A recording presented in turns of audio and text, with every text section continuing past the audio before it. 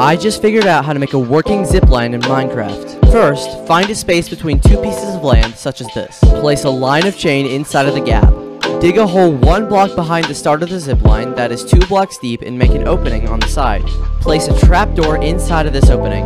Go back to the hole and place a bucket of water. Jump into the hole and swim out through the gap.